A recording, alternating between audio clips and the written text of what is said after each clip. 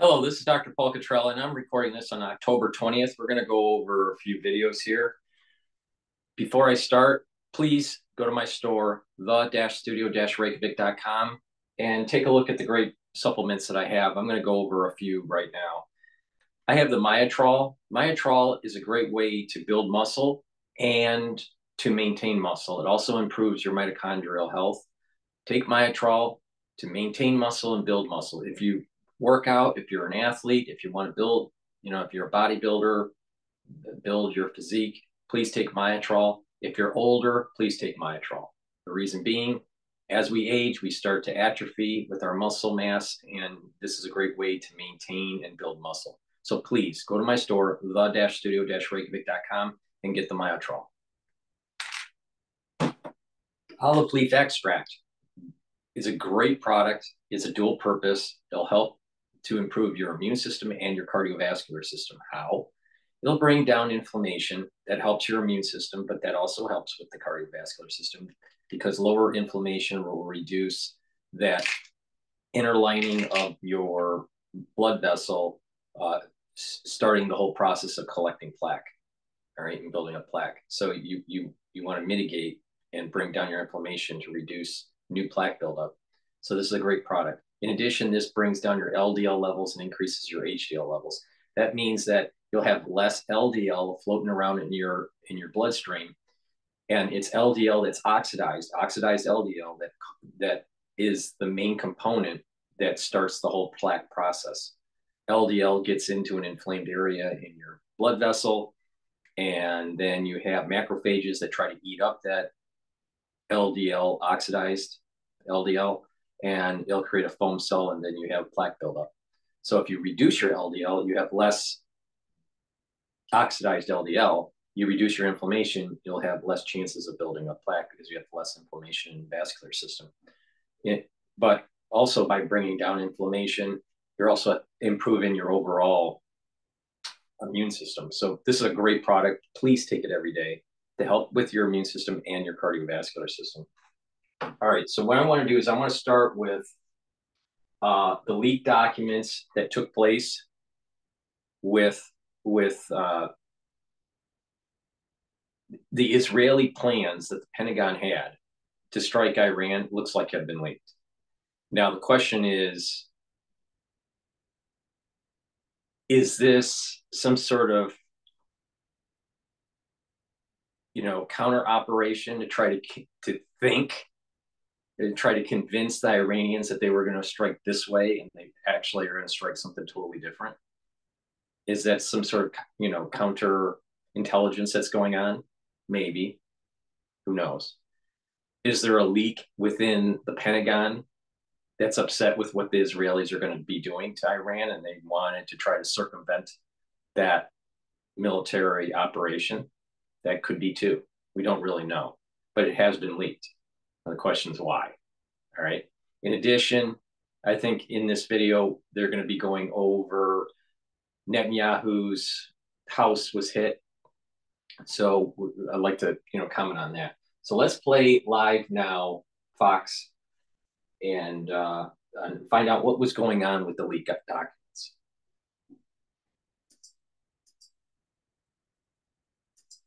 Welcome back, and thanks for joining us here at Live Now from Fox. I'm your host, Carla Hanna. I want to get right into uh, some tensions in the Middle East as we continue to hear more headline developing stories. Conflict continues to grow. Now, to do that, I'm going to bring in a straightaway retired Marines intelligence officer, host of the Strat podcast, Hal Kempfer. Hal, let's start with some big news that we got just moments ago. So, the United States apparently increasingly concerned after top secret documents showing Israel's plan for a potential retaliatory strike on Iran were leaked to an Iranian Telegram account on Friday.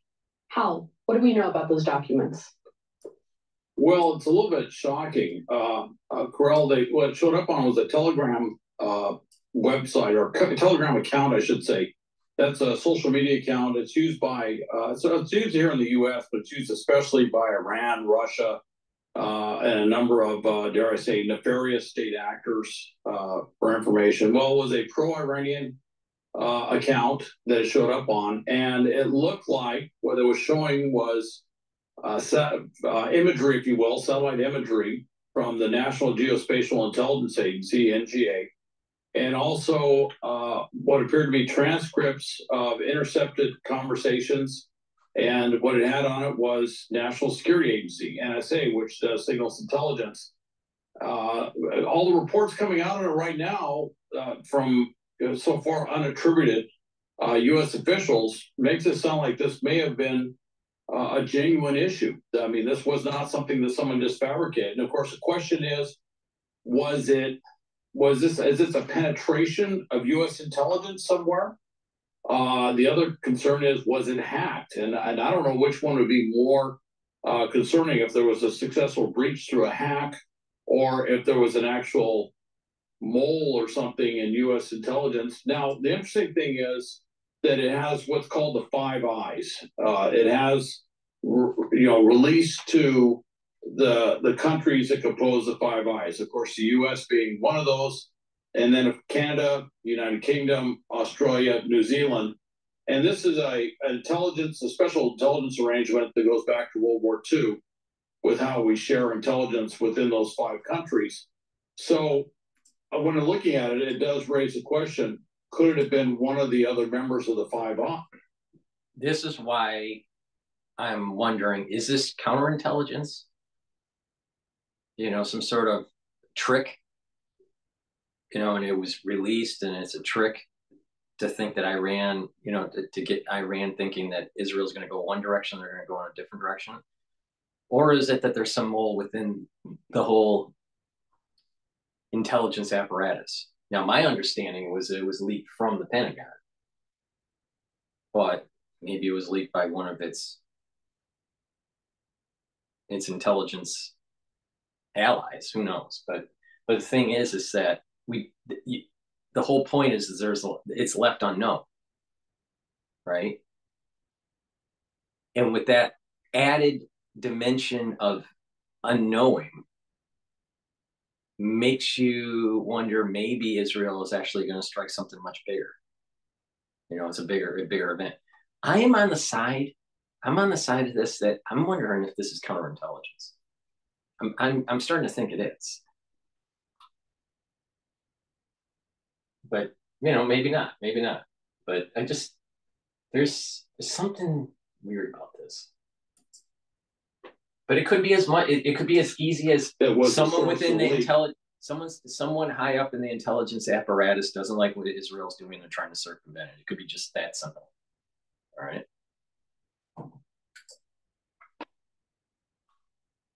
Now, in Israel, their concern is that it, it's talking about all the preparations they're doing for the big strike in Iran. It wasn't specific as to targeting, as to what they're going to hit, but it does talk about that. It talks, it shows uh, preparations at different air bases. It talked about uh, different types of training they were doing, uh, a variety of things like that. Uh, type of ordnance that they might be using was kind of inferred uh, from it as well. Uh, so Israel's probably sitting there saying, "Oh my gosh, some of our planning and preparations have been compromised," and the other parts are probably saying, well, they're really spying on us a lot. I mean, they're looking at satellite photos of what we're doing and intercepting our conversations. So I'm not sure how that's going to play at a uh, diplomatic level, shall we say, uh, of that sort of thing. So uh, it, it's it's going to be a big it, it, it can create an, another fear within Iran. You know, a lot of people would say, well, leaked information will tip the hand of the Israelis, and therefore, you know, uh, it, Iran's going to know what Israel is doing. Well, not necessarily it could create more fear, especially if it's a head fake, right? So I'm not, I'm not so sure that this is the real plan. Maybe it is, or maybe it's one of the real plans, because you know who knows. But is it a group of people or a person that didn't like the operation they wanted the deep six the op- operation? That's possible especially as we get so close to the election and the Democratic Party are not doing so well. So uh, Trump looks like he he might win. Um, so there's that dimension to try to you know, prevent more escalation in the region that might hurt the Democratic Party in, in the general election. There might be that dimension. But I still think that the probability is, is that this is a head fake.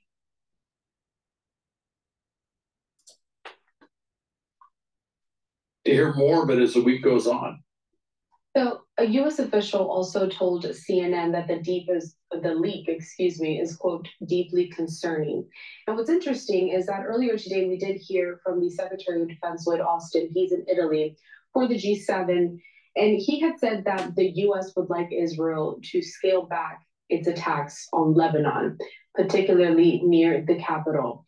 But is that likely? And what kind of incentives does the U.S. have in order for Israel to scale back those attacks?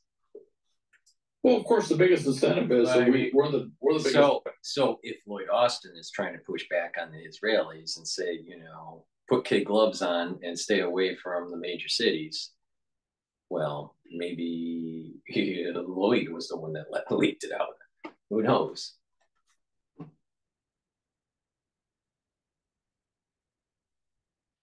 I still think that it's just it's almost like a head fake. They want to they want to make want to make Iran think that it's moving one way and it's really doing something different.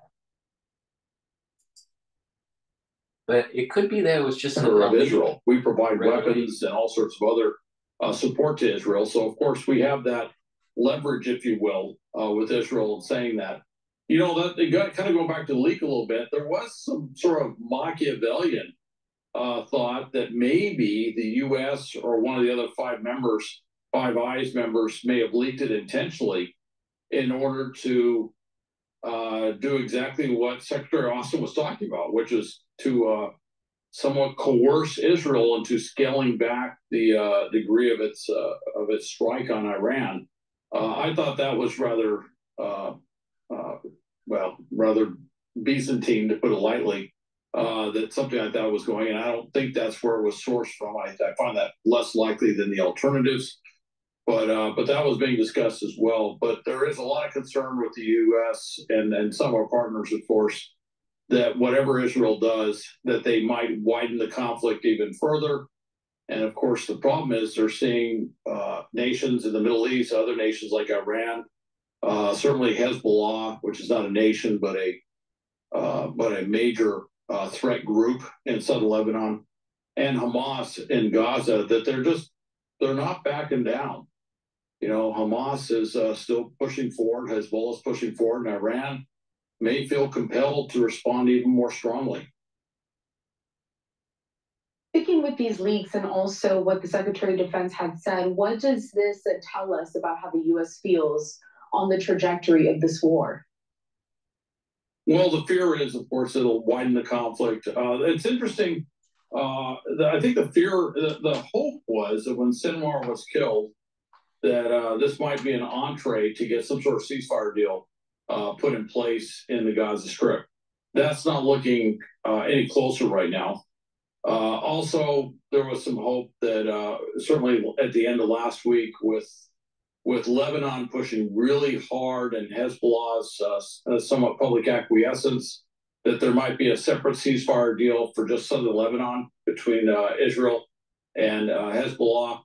Uh, I don't rule that out, but uh, it does appear that certainly for Israel, they have a lot more things they want to accomplish from a military standpoint before they agree to anything. And the other problem is that there are certain stipulations of what that agreement would look like that, that Hezbollah just simply is not there. You know, part of that is that they pull all their forces out of the uh, the area in UN Resolution 1701 south of the Litani River. Well, that has not happened. There's a disarmament provision of Hezbollah on that. That certainly has not happened. So there, there seems to be a long way to go before they could get to something where it would be a, a more permanent ceasefire uh, type arrangement, let alone peace, uh, if you want to call it that.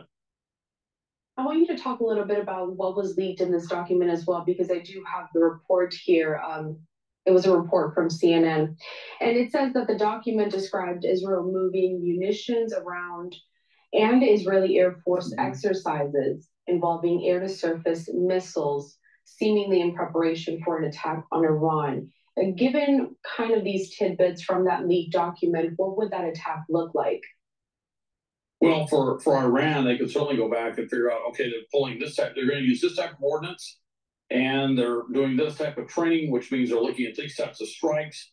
And certainly, any target intelligence uh, uh, officer could go back and look at that and say, well, based on that, I think they're looking at these particular targets. I think that's this is how they plan to prosecute these particular targets, depending on uh, the specificity of what's in there, and certainly what they can. You know, they take from what they know to what they have now, and what they can put together from that. Uh, certainly, Iran knows where its potential targets. You know, things that that Israel like to hit. They know what those are. That's not an unlimited pos- number of possibilities. And within that, they have certainly looked at how Israel might potentially try to strike those. So they already have a, uh, uh, dare I say, a, a template of how Israel might want to do that. So you take whatever you glean from these argument uh, from these uh, documents, you put that, you apply that, or compare it against the template of what you think or what they would think Israel would do, and that would narrow down the number of targets that uh, Israel would possibly be looking at. So you can actually glean a lot of information, a lot of intelligence from uh, uh, a limited array of uh, information within the documents. Not just what was leaked, but it's what was leaked in context with what's already known, and that's where you know basically uh, Iran would develop greater insight on on what Israel wants to do, and of course the consequences are that they could shift around their air defense assets and put uh, Israeli Air Force pilots at greater risk doing those missions because, frankly, they would have said, look, this is how we think they're going to come in. This is what we think they're going to do. And take all the countermeasures that they possibly can in order to, uh, you know, mitigate that risk. And that's another way of saying trying to shoot down the Israeli aircraft. So there is a real human danger uh, when stuff like this comes out. There's a uh, there's a, a lot of things that certainly Israel is assessing right now. And Israel, and frankly, this leak will probably end up pushing things back because I would imagine they're going to go back and relook at everything and make some changes simply to create a greater degree of uncertainty with the Iranians as to how Israel plans to strike. Hal, when we spoke earlier about you coming onto the program, this wasn't even the story that we were going to cover. So this is coming on the mm-hmm. heels of another headline that we're following. I want to showcase some video here that was uh, provided to us a little earlier today, and this has to do with a drone that was launched toward Israeli Prime Minister Netanyahu's house early on Saturday. That was confirmed by the Israeli government. Now, there were no casualties.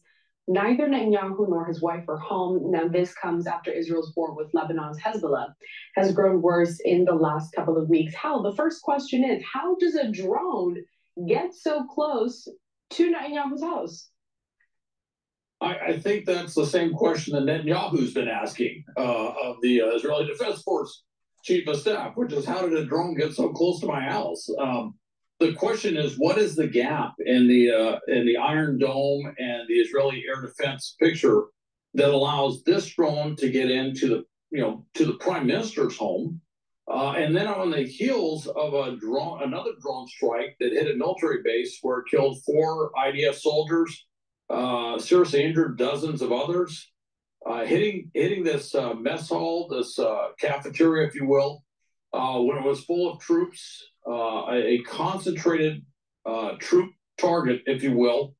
Uh, how did he get in there? And then, of course, this falls, you know, some weeks after, or I, I think what it is is that the Iron Dome per, potentially has been damaged, and or it doesn't it it it's uh its anti missile battery is depleted, you know, and it it needs to be replenished and I think the bigger variable here is, is it's porous, especially with small devices that can move around. Not not in an arc kind of way, but you know, a drone can move around and with different flight patterns. So I just think the Iron Dome is is much more porous than what what they what they thought. But I wouldn't be surprised if the Iron Dome is somewhat damaged from that last Iranian strike.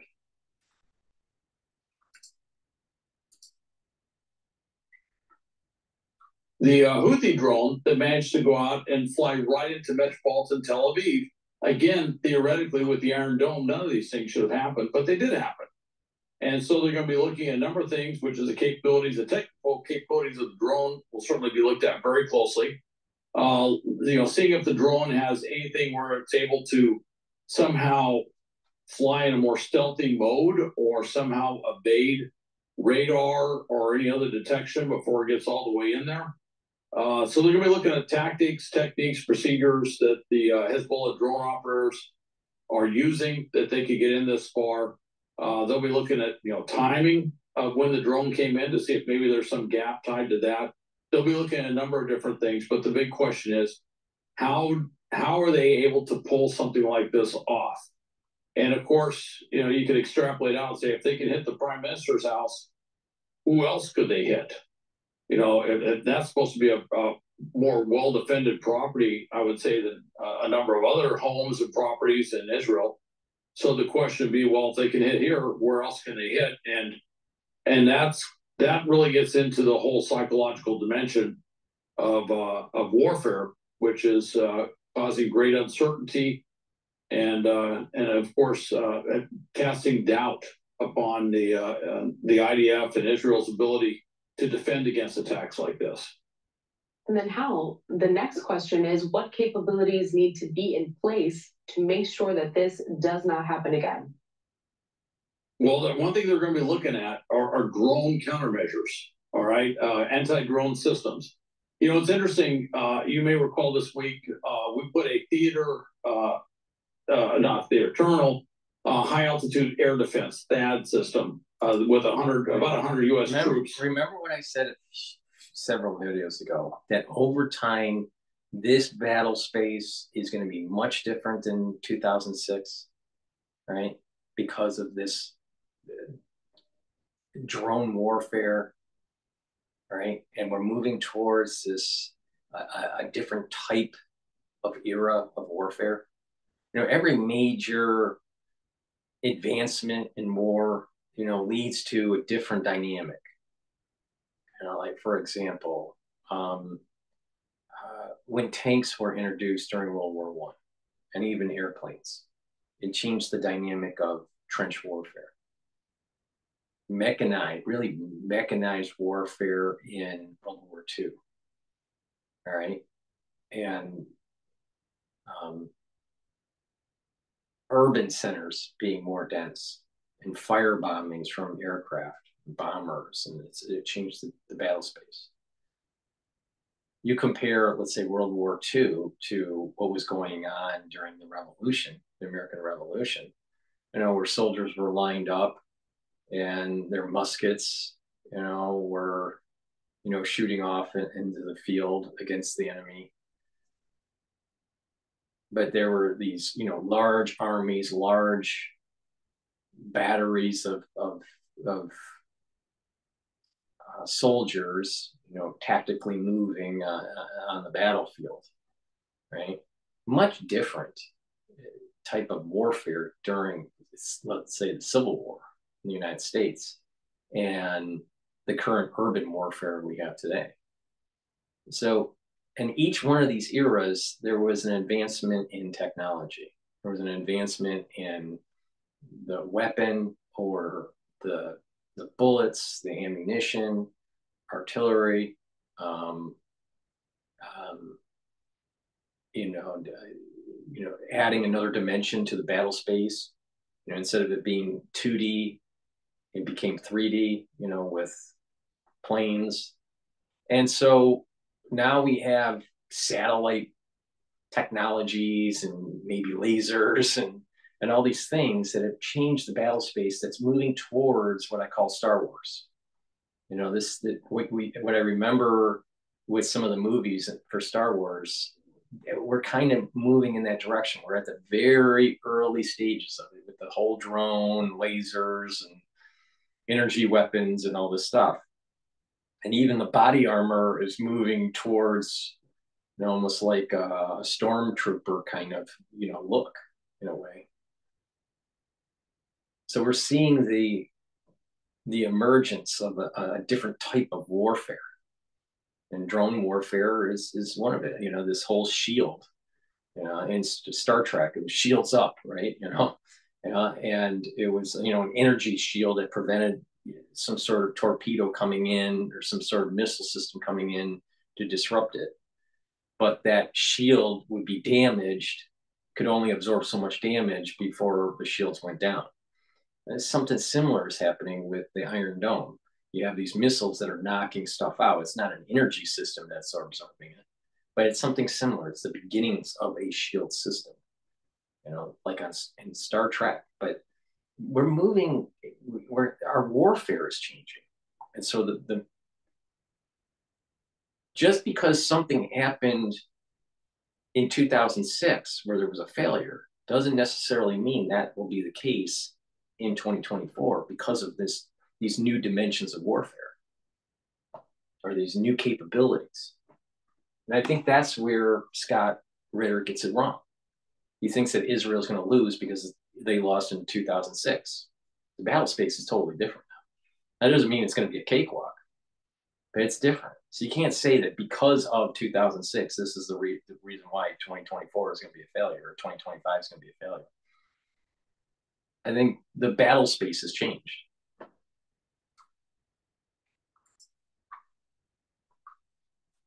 That we actually deployed into Israel. And a lot of people say, with their Iron Dome system, why do they need this? And it was to plug a gap with a specific ballistic missile capability. Uh, they were saying hypervelocity ballistic missiles, which I always find a rather interesting term because most ballistic missiles flying at high altitude are hypervelocity because that's simply how fast they, they've always flown. Uh, but they're they're trying to plug this gap with this U.S. Uh, uh, high altitude air defense system.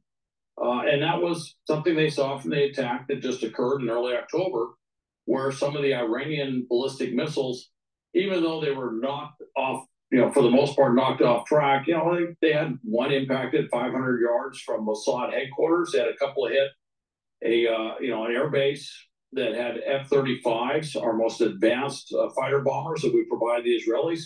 So they needed to plug those gaps, and that was one thing. Now they're going to be looking closer to Earth, so to speak, which is uh, gaps in the uh, low altitude realm, which is where these drones are probably flying. Again, I don't know what altitude or what what trajectory these drones came in on. I don't know what their flight path. I don't know if they were doing something like nap of the Earth, where they're flying so low to the Earth that uh, uh that they couldn't pick them up on radar. I don't know if they were command controlled or completely autonomous. Uh, so these are things that the IDF is going to have to figure out. Some of the Shin Bet, their domestic intelligence service, is going to be looking at very closely as well to try and find out everything they can about this. And then the other question is, even though they're they're saying they're launched by Hezbollah, I can't rule out that they, they could have been launched from somewhere else. They could even be Hezbollah launched drones and maybe launched from a location other than, say, southern Lebanon, maybe somewhere else. So they're going to be looking at these things as well to try and figure all this all this out, and then figure out where all those gaps, what are those deficiencies, and what do they need to do to uh, to plug them. And uh, so that they, I think I don't know if you're going to see a THAAD type solution for that, but you're going to see something happen, and I imagine it's going to be pretty big, pretty dramatic, and pretty fast. Hal, that brings me to my next question because I can't imagine that all of our viewers, including myself, are weapons experts, so to speak. Could you maybe give us a bit of a briefing on the different types of drones and which ones pose the biggest threat? Well, there's there's different types of you know drones. There's a lot of different things of drones. I mean, when you get into uh, some of the larger drones that that the U.S. flies, those actually look like you know, almost like commercial airliners. They're so big. Uh, so they have drones, you know, the, the, the, the Triton series and things like that that are used for persistent high altitude surveillance that fly, I'll say, 60,000 feet plus uh, uh above ground level, uh, AGL. Uh, those things tend to be very large. And then there's ones that are in a medium spectrum. They're they're larger. The MQ-9 Reaper fixed wing drone, uh, we've lost a number of those uh, due to the Houthis, but we've lost them elsewhere in the world as well. Those are per- fairly good size, um, and you know the Predator type drones. Uh, certainly, when I was overseas in uniform, Uh, I was on the flight line uh, right next to those and got to see them up close and personal. And uh, so uh, they're, I mean, the size is a relative thing. You know, I mean, are they bigger than a Cessna or something? Well, yeah, they don't look like a Cessna, but they they have you know getting a wingspan and, and things like that. They're they're pretty good size. And then you get down to smaller drones, and a number of these drones, uh, some of them are fixed wing, a lot of them are rotor quadcopters and things like that. And if you get all the way down to the very smaller drones, you get to stuff like you saw with the drone that went into the living room, where Yahya Sinwar was sitting on a chair throwing a stick at it. Well, that drone, and I'm not entirely sure what type of drone that is, but that might be a drone that's uh, uh, akin to the Dragonfly series drone that, that we produce. And that's a drone that literally can sit on the palm of your hand. It's a very tactical drone. It doesn't have any weapons capability, but it's great for intelligence, surveillance, reconnaissance at a very tactical level, like a squad or platoon, uh, which is a small group of maybe a dozen or a couple dozen. Uh, it tells you what's in that building, what's over that hill, what's around the corner. These are very, very small drones. Some call them uh, micro UAVs, if you will, uh, which is micro unmanned aerial vehicles. Uh, very small, and I've seen stuff uh, so small that literally it looks like the size of an insect. Some amazingly small drones. Again, not designed for weapons, although I, I have heard some other exotic applications of putting using them for assassination stuff and putting a very small explosive charge. And there's an Air Force video I, have had that I use in my training where it actually shows the drone landing on a terrorist head and then exploding. It's all done in cartoon, but you get the idea of what it does. And uh, so these are all within the area of theory of, of what's going on. This drone here was probably, uh, my guess, is a fixed wing drone that had pretty long legs. It could fly a, a pretty considerable distance. Obviously, had a warhead and uh, and so they're going to be looking at that that that area of drones. But then again, that's why I say they're going to have to go back and take a look at this. This might this drone may have come from somewhere other than southern Lebanon, and they're going to have to figure out if maybe this was a different type of drone that was launched from a different direction. Maybe it was launched within Israel, or maybe it was launched from within the West Bank, or something like that. I don't have all the details. Everything they say so far makes it sound like it came from southern Lebanon, but more to follow. This is uh, kind of breaking news. Hal, given all the topics that we've touched on in this conversation, and it was just two major headlines really that we discussed, but is Iran preparing or are they ready for an all out war with Israel? Carla, that's kind of interesting. The problem Iran has is they don't have any way to really do an all out war with Israel. You know, uh, first off, if I could quote the real estate uh, saying location, location, location. They have no border that they share with Israel. Uh, they've got a couple of countries between them and Israel. So, and they don't have a they don't have a really uh, robust, capable, mechanized ground force with a lot of aviation support where they could do something that say the United States could do. They're not going to do something like we did in 2003 where they went up to Bag where we went to Baghdad they couldn't pull something like that off. Uh, they're certainly not going to do something like Desert Storm. And I would point out when you're looking at the geography, you go, well, they would have to cover, you know, that times 10 to get over to Israel. So they're just really physically, they can't launch a ground war. There is really no conceivable way they could launch a ground war in Israel. So what you're looking at are missiles, planes, maybe ships. Uh, things are going to be a little bit more distant. They don't have any naval infantry capability where they could do any landings ashore or any way to project anything like that. They don't have any big airborne capability where they could drop troops into Israel, which would be uh, somewhat preposterous to even think of Iran trying something like that. So they're somewhat limited. Israel, on the other hand, has a lot of force projecting capability. They they could theoretically put boots on the ground in Iran. Although Iran, I just want to point out, is an enormous country. It is huge and it's also a long way from Israel. So they've also got a problem of uh, how do you logistically support such an operation? How do you get your forces back if you were to insert them in the first place? How do you insert them in the first place to get them in there? Uh, although they could do some things like we saw in Syria not too long ago, where they did a strike on a it was an Iranian facility in Syria that, that actually created that actually produced uh, munitions And they went in there with special operations forces, did a raid on the ground, boots on the ground, and, and then covered it up with air strikes and drone strikes as they were leaving.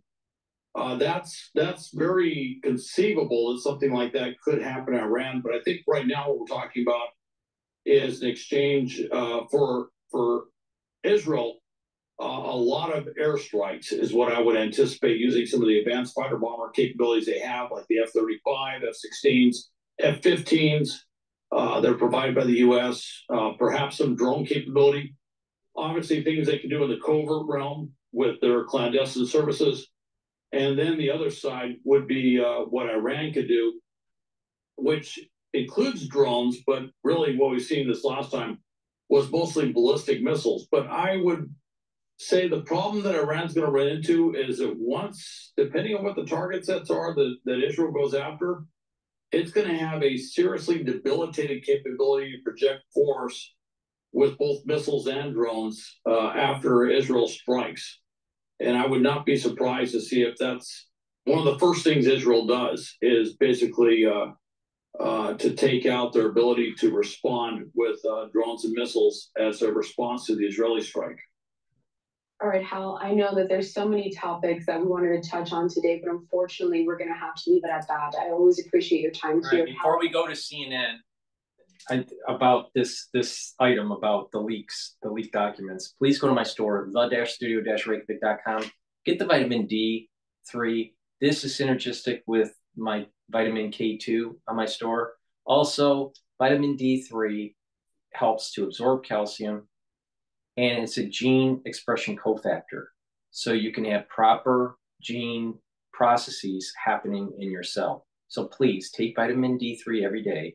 I take a soft gel in the morning and a soft gel in the evening. If you follow my protocol, you can reduce cardiovascular disease with vitamin D3, and you can also reduce or eliminate osteoarthritis. So just follow those protocols. In addition, vitamin D3 helps to get rid of cells that need to go into apoptosis, especially if they've been infected. So please get the vitamin D3. This will help with your overall health, your the overall processes in your cell and uh, get rid of cells that need to go into apoptosis. Nattokinase. Nattokinase will help with your cardiovascular system. It's fibrinolytic, so it'll break up clots. In addition, it'll bring down LDL levels and increase your HDL levels. So it's improving your, your lipid profile. So it's improving your cholesterol. Please take nattokinase every day. It is synergistic with my omega-3 that I have in my store. And lastly, ubiquinol. Ubiquinol is something I've been taking for decades. It's really important. Ubiquinol is CoQ10, the activated form for CoQ10. So take ubiquinol. It'll boost up your, your energy levels. It's an antioxidant. In addition, it also helps with neural protection. It helps with the, the, the, health of your neurons. So when you get older, you need to take ubiquinol to maintain your neural health. And you need ubiquinol to soak up those free radicals and boost up that energy level because it helps with the health of the mitochondria. Please take ubiquinol every day. It's very important. All right, so let's go to CNN uh, discussing about the leak documents concerning. That's how U.S. officials are describing the leak of highly classified intelligence documents detailing Israel's preparations for an attack on Iran. Axios was the first to report on that leak, and CNN's Natasha Bertrand is joining us now live. More, Natasha, with more. Uh, Natasha, I know you've been talking to sources as well. What are you learning? Well, Jessica, we have managed to confirm that these two documents that were leaked on Telegram on Friday do appear to be authentic, and they are highly classified documents that suggest that the US has been essentially spying on Israel's plans to retaliate against Iran for that massive missile barrage that Iran inflicted on them on October 1st. And these documents are uh, marked top secret. They are also uh, they also have markings suggesting that the only entities that should be viewing these documents are the U.S. and some of its closest allies, the Five Eyes Partnership. And so this is obviously very concerning to U.S. officials. And while we are not going to uh, quote from these documents, okay, this is interesting because Live Now didn't say that it looked like Israel was spying on. I'm sorry, it didn't look like that U.S. was spying on Israel. Right, that's what Live Now. That was the interpretation I had from their broadcast. CNN is a little bit different. And remember, CNN is pro Democrat, pro CIA, pro all this stuff, right? So, so this adds to another dimension. What are some of the possibility? What's what's the possibility space for the leaked documents? Israel shared the intelligence with the U.S. and the U.S. This is one of the options. Israel shared the intelligence with the US. Maybe there was some sort of joint sharing of intelligence to build up some sort of strike plan between the US and the Israelis because Israel probably needs the help of the US. So that makes sense that they were sharing information.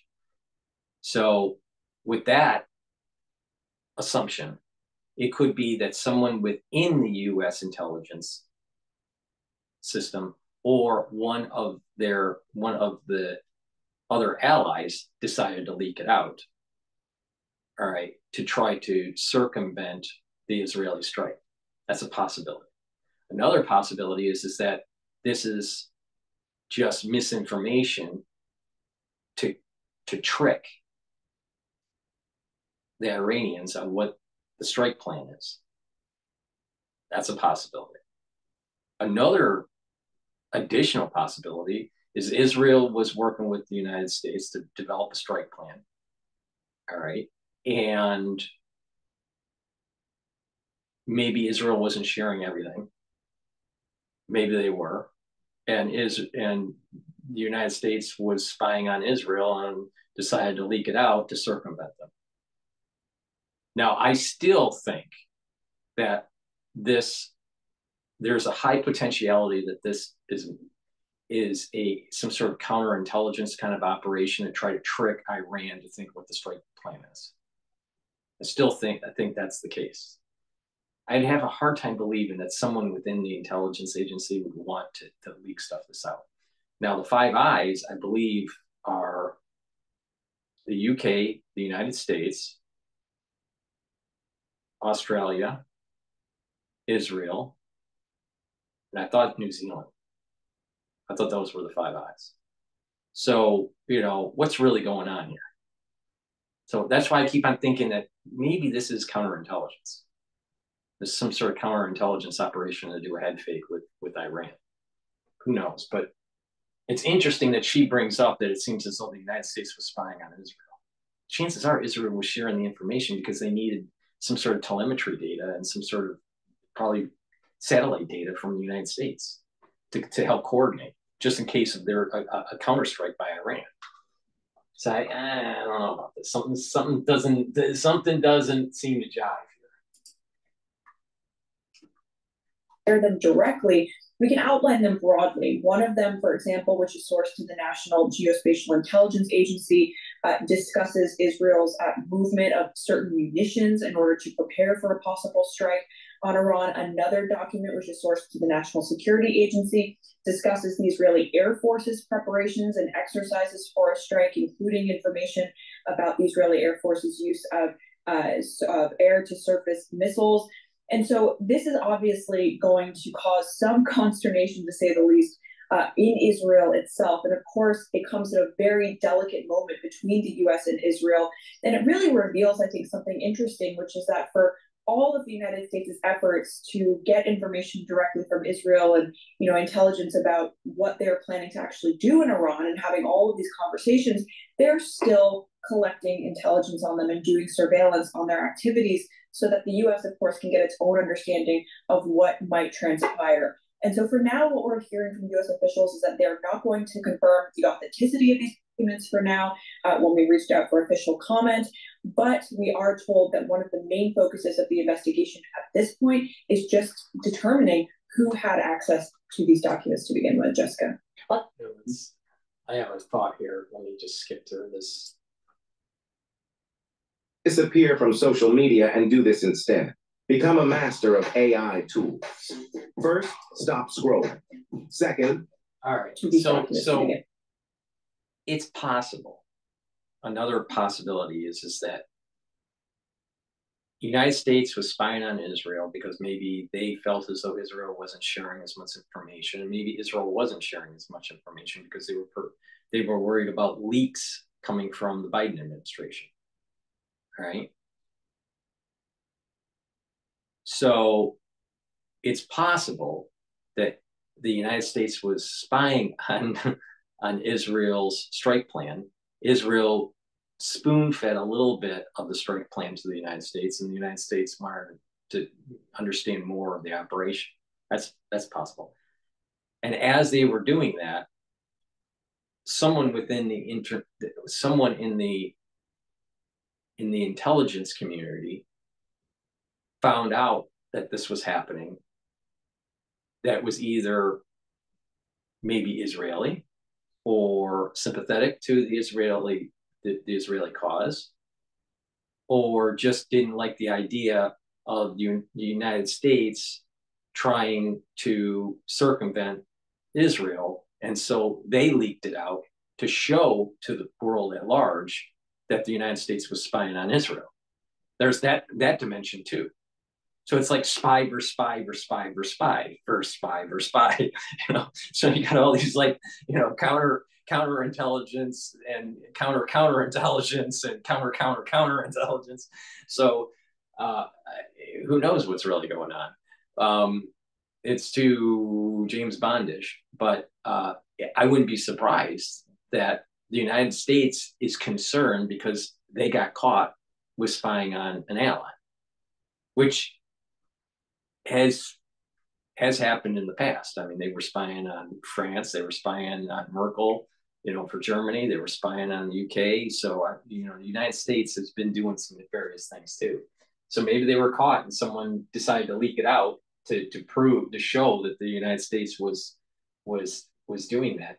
Now, what's interesting is, is that I would say a pro Israeli, hmm, pro Israeli. I would say, I would say live now, uh, uh, live now, or yeah, live now. I I would say that they're more aligned with Israel cause than the Middle Eastern cause. Just like Al Jazeera is more aligned with the Middle Eastern, the, the Arab cause, right? So I would say Live Now is more aligned with the, the Israeli cause and, and this. CNN, I feel, is more aligned with some sort of ex, expedited political solution that doesn't really solve the real problem. And that I wouldn't be surprised that the intelligence agencies have been trying to circumvent Israel's move on Iran. And so them leaking the documents would try to one line of thought is to try to prevent them prevent the, the Israelis from actually striking. Another line of thought is, is that they were spying. They didn't want it to be leaked. Someone found out that they were spying on Israel and leaked the documents. So, so it would show it show the people at large that the U.S. was spying on Israel. I just find it odd that CNN said that. Right? Let, let's rewind let's rewind what they said and, and just maybe maybe I'll get a different interpretation when I hear it the second time. This is the first time I've seen this video, so you know, bear in mind. All right, so let let's just let's just replay what they're talking about in CNN against Iran for that massive missile barrage that Iran inflicted on them on October 1st. And these documents are uh, marked top secret. They are also uh, they also have markings suggesting that the only entities that should be viewing these documents are the US and some of its closest allies, the Five Eyes Partnership. And so this is obviously very concerning to US officials. And while we are not going to uh, quote from these documents or share them directly, we can outline them broadly. One of them, for example, which is sourced to the National Geospatial Intelligence Agency, uh, discusses Israel's uh, movement of certain munitions in order to prepare for a possible strike on Iran. Another document, which is sourced to the National Security Agency, discusses the Israeli Air Force's preparations and exercises for a strike, including information about the Israeli Air Force's use of uh, air to surface missiles. And so this is obviously Okay, so going to cause The cause five, the five eyes are Australia, Canada, New Zealand, UK, and the United States. So I didn't realize Canada was involved. Okay, so Israel's not in the Five Eyes. I'm surprised at that actually.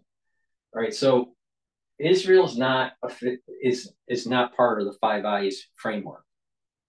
So it wouldn't be if that's the case, then they may have been trying to get intelligence by it on Israel to find out what their strike plan was, because maybe the United States felt as though Israel wasn't keeping them so much into the loop. I'm sure Israel has mentioned some things about what, what they wanted to do with, with Iran, but the Biden administration leaks. So they, you know, maybe this is not a counterintelligence. Maybe this is not to do a head fake with Iran. Maybe this is to try to circumvent the actual strike by by Israel. All right, so so I mean I'm thinking on the fly here. So I just I just want to just I'm trying to triangulate some of these data points that are coming from media. uh, movement of certain munitions in order to prepare for a possible strike on Iran. Another document, which is sourced to the National Security Agency, discusses the Israeli Air Force's preparations and exercises for a strike, including information about the Israeli Air Force's use of, uh, of air to surface missiles. And so this is obviously going to cause some consternation, to say the least, uh, in Israel itself. And of course, it comes at a very delicate moment between the US and Israel. And it really reveals, I think, something interesting, which is that for all of the United States' efforts to get information directly from Israel and you know intelligence about what they're planning to actually do in Iran and having all of these conversations, they're still collecting intelligence on them and doing surveillance on their activities so that the US, of course, can get its own understanding of what might transpire. And so for now, what we're hearing from US officials is that they're not going to confirm the authenticity of these documents for now uh, when we reached out for official comment. But we are told that one of the main focuses of the investigation at this point is just determining who had access to these documents to begin with, Jessica. Let's bring in CNN military and My gut feeling, okay, so early on when we were playing live now, I was thinking counterintelligence, head fake, you know, with Iran, make it seem as though there was some sort of lack of communication between the United States and Israel. I'm changing my thought process here. When she's playing this and it's coming from CNN, I am starting to think that the United States was spying on Israel and Israel caught them and somehow leaked the information. They actually caught they, they actually caught this is what my gut feeling is. I think Israel Israel actually leaked the information out of this five eye package to show to the world that the United States was actually spying on Israel. Because it doesn't make sense for the United States to leak it out and to be and and and to be caught spying on Israel. Why would they why would the United States leak that out? Or why would some of the five eyes within the apparatus leak that out, knowing that they wanted to find out what Israel was planning on doing? Right? Because they would be tipping their hand and they were saying they would be saying that they've been spying on Israel. Why would they want to do that? You might as well keep that to your vest and be very quiet about it. All right. Most likely, somehow, some way, Israel found out, or at least a very, very close ally to Israel within the Five Eyes apparatus found out and decided leak the package to show that they that the, that Israel knew that they were spying on. So this is what this goes back to what I was saying before. The Rebbe said to Netanyahu in the early 80s, do not worry about the international community. Don't be fearful and don't be boastful, and you'll, you'll be victorious on the seven fronts. All right. Now, he said that to Netanyahu in the 80s. Netanyahu wasn't president in the 80s, or the prime minister of the United States, uh, of, of the prime minister of, of Israel. He was a UN delegate. There's a seven front war. Netanyahu has been elevated multiple times to the, to the prime ministership. And, you know, this is the time to knock out Iran. Now, we know the United States doesn't want Israel to knock out Iran. We know that there's leaks. We know that the Biden administration really doesn't is not really aligned with Israel. They're not so much aligned with with the Palestinians either. But they just want to kick the can down the road, and that's exactly what the Rebbe said not to do. So I would not be surprised. All right, live now probably didn't didn't know about this kind of like how it was being leaked, right? I find it very interesting with CNN. CNN parrots what the intelligence agencies want them to parrot.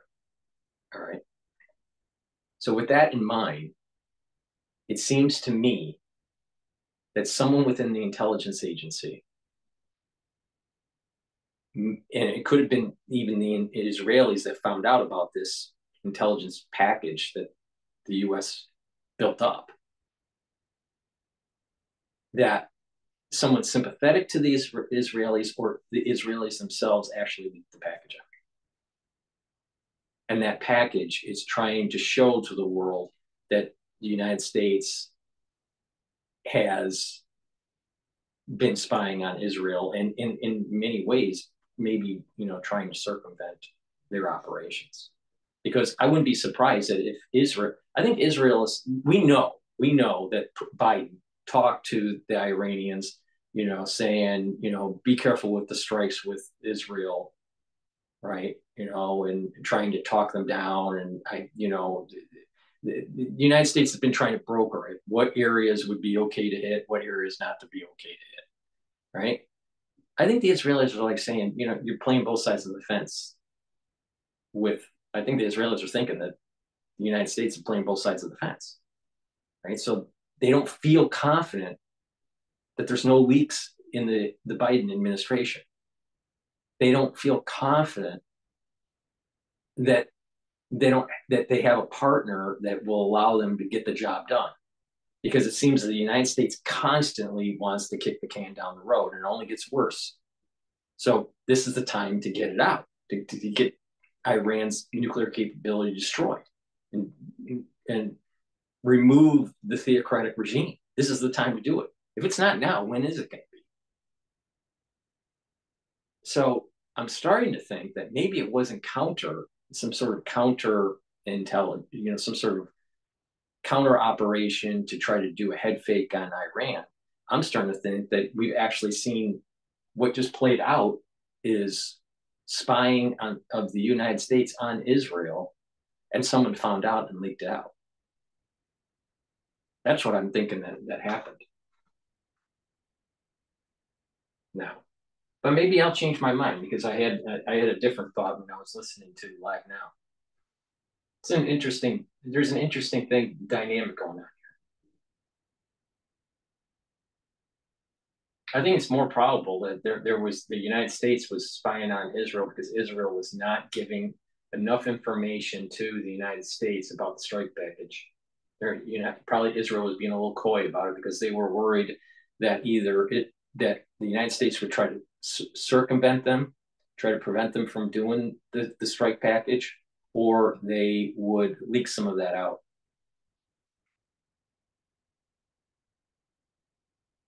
The United States was caught spying on Israel. That's what it looks like. But the question is, why would CNN say that if they are part of the intelligence op operation? Hmm. Colonel Cedric Leighton. Uh, Colonel, great to have you here. Good to be with you, Jessica. I want to ask you first about this breaking news story we're following tonight that the U.S. is investigating this leak of highly classified U.S. intelligence about Israel's plans for retaliation against Iran. They began circulating these documents Friday online, being posted on a pro Iranian Telegram account. In your opinion, how damaging is that leak? Well, it could be quite damaging, and it could be an indicator, Jessica, of several different things. One of them might be uh, that the Iranians have somebody who is working for them within U.S. intelligence.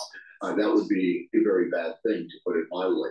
Uh, the other thing it could be that it's somebody who is trying to, to in essence, take matters into their own hands and trying to prevent Israel from doing things by revealing. That was my original thought right there. Uh, the documents themselves may not go into great detail about what the Israelis are doing, but of course there may be more uh, documents where those came from, and uh, we could find out more perhaps in the next few days. But it's clearly a damaging uh, situation, and documents like that uh, because they have not only uh, high classification level, but they expose sensitive collection method and sensitive collection targets. They should never be released like this at all. And and what kind of effect? And he missed the other two possibilities. Israel caught U.S. spying, and Israel decided to leak the information to sh- to to to sh- to show that it you know you know shot over the bow to the to the Pentagon that hey we know that you're spying on us. Two, you know the other option is is that it's the head fake with Iran. So I don't think that that there's an infiltration of Iranian intelligence officers inside the Five Eye apparatus. I don't think that's the case. Question is, are there individuals within the Five Eyes that are trying to circumvent Israel from striking Iran? And if so, why? It's a big question. Why? You know, if you have the Five Eyes not wanting to knock out Iran and its nuclear capability, then all you really want is to, to, kick the can down the road, and then the Rebbe's right. The Rebbe and what he told Netanyahu in the 80s was right. Don't listen to the international community because they're just going to hurt you. And then Israel catches, potentially catches the US spying and decides to leak it out, or at least someone sympathetic to the Israeli cause finds out and decides to leak it out and to, to show the, the true hand of the United States. Or this is some sort of counter, some sort of misinformation counterintelligence operation to try to do a head fake with Iran and, and make Iran think that Israel's going to strike one way and that there's some sort of infighting with the US and, and, and the, the, and the Israelis and the strike package is something totally different. It could be. Now that my gut feeling, my original gut feeling was it was a head fake and that the strike package is actually something totally different and that to create this inf- make the perception that there's some sort of infighting going on between the US and Israel. That was my original thought. And maybe that probability is now 50%. I, I was thinking it was higher, like 80% or so. But maybe that that probability is 50%. And then the other the other 50% is, is that there was this someone caught the United States spying on Israel and decided to leak it out to stop to try to stop that from happening. Um, you know, I, it's, I'm not really sure, you know, because it's 50 50 now. I'm not really sure. I'm not really sure. But I wouldn't be surprised that the Biden administration and the intelligence apparatus is trying to get more information out of the Israelis on what the actual strike plan is because the Israelis don't trust the Biden administration. Should they? Should they really tr- trust the Biden administration? Because they, you know, they have to make this. If they're going to do it, they have to do it, and they have to win. They have to make it happen. So, and they're probably going to need help by the U.S. So there has to be some sort some sort of coordination. So they're they're fighting two different problems. They're fight. They have to have coordination with the United States, but they have the United States that's trying to prevent them from actually doing it. And you have leaks that are out of the Biden administration. So there's there's some conflict. I'm not really sure what really happened. Is it some sort of head fake, or is it the United States was caught spying on Israel and someone decided to leak that information out? Now, if the Israelis found out that they were spying on them, maybe they would have just talked behind the scenes and said, "Stop it." Maybe they wouldn't have had someone leak something out. So that gives it more credence that it's a it's a head fake. I'm not really sure. It's strange. On um, the military and its preparations, both the Israeli military, but also the U.S. We all remember has military assets in that region as well. Yeah, absolutely. 40,000 US troops in and around the Middle East right now, and that includes from all the services. Uh, so it could have a significant impact. uh, certainly uh, the Israelis could be forced to change their plans, could be forced to change the timing of their operations, could be forced to change the targeting, you know, what particular targets they're going after. All these things are possible. it's not a, you know, a foregone conclusion that they will do those kinds of things, but it is definitely possible. And as far as U.S. assets in the region are concerned, they could uh, become targets uh, because of the fact that they are not only in the region, but also that they may be seen as aiding the Israeli effort. Whether or not they do that is, of course, a completely different issue. but the perception might be that they are, in fact, aiding aiding uh, the Israeli effort. So that would be a, a problem for the U.S. potentially in, in that regard. And and also today in Israel, uh, there was a drone attack on Prime Minister Benjamin Netanyahu's home. He no one was home, no one was injured. Um, Iran has denied it was involved, saying it was carried out by Hezbollah. Netanyahu said that agents of Iran were behind that attack. They would pay a heavy price. Hezbollah is not claiming responsibility. Now, let's remember that Hezbollah is uh, sponsored by Iran. So, what do you make of all of this? Well, it seems as if you've been getting scam texts like these, it was me. I said that probably means your data's been leaked, and I have all of it. Who leaked it? I did it. I leaked. Well, it seems as if uh, either Hezbollah or Iran or both uh, were trying to send a message to the Israelis that their leadership is also potentially vulnerable to attacks.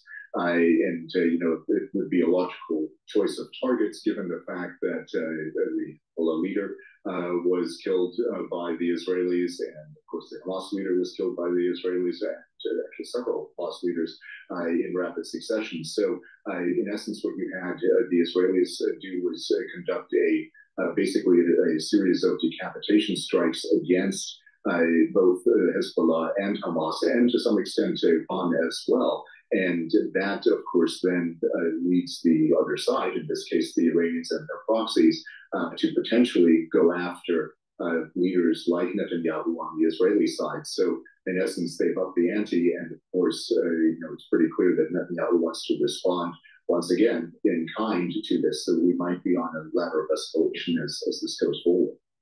I also want to talk about Russia's war in Ukraine because we have some, some really incredible new information, which is that South Korea's spy agency says that North Korea has sent at least 1,500 troops to aid Russia in its war in Ukraine. We have even video of North Korean soldiers receiving Russian uniforms and equipment at a Russian training base. It just reminds us, Colonel, how connected um, a lot of these countries are that are adversaries of the US and its allies. How alarming is this? How should the US and its allies respond?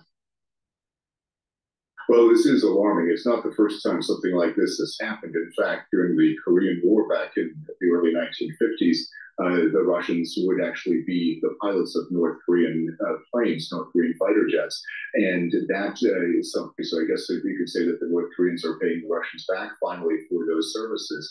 Uh, but uh, the key thing is this now we have another power potentially getting involved in the war in Ukraine. It shows that Russia uh, has a manpower problem. Uh, they also uh, face significant domestic resistance to actually being drafted into the war in Ukraine. Uh, so the way to solve that manpower shortage appears to be to hire foreign troops. In this case, those foreign troops are North Korean. And that, of course, means that North Korea is more directly involved than we previously thought. And that potentially widens the conflict beyond just Ukraine, Russia. Uh, it could also impact the Korean Peninsula. And of course, the U.S. has vested interests both in Europe and on the Korean Peninsula. All right, Colonel Cedric Leighton, thanks so much. Good to see you. Good to see you too, Jessica. Right. Thank you.